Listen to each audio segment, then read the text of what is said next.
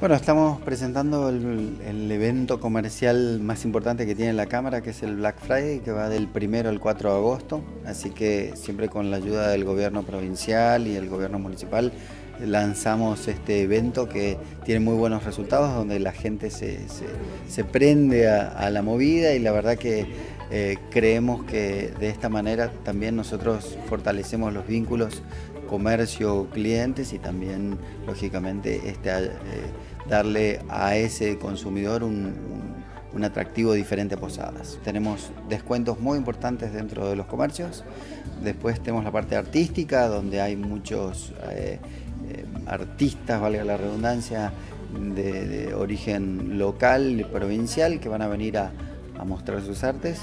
Y después también una parte gastronómica que, que es la que termina de cerrar la noche, que es la que se extiende un poquito más, en donde eh, se hace un buen combo para que la gente pase un lindo día, un lindo fin de semana diferente a, los normales. Y la verdad que es muy importante y, sin el aporte del gobierno y sin el aporte de los bancos, nosotros solos sería mucho más dificultoso. Así que entre los tres creo que estamos siempre de la misma manera, ¿no? siempre en el mismo barco y tenemos que ayudarnos entre todos. Creo que es constructivo para todos, así que mis, mis felicitaciones.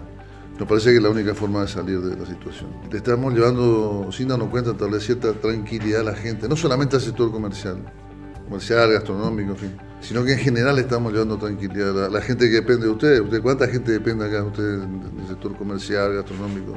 Y además le lleva al resto de la población también, porque tiene su momento de descuento, tiene su momento, su, bolsillo también se tranquiliza un poco. Y en este momento de, bueno, de dificultad que vive la patria, ¿no? Hacer estas cosas modestas en conjunto, lo público lo privado, sin distinción, digamos, somos todos misioneros nomás, ahorita al fin y al cabo, y tratando sin ningún tipo de especulación de que la gente la haya un poco mejor.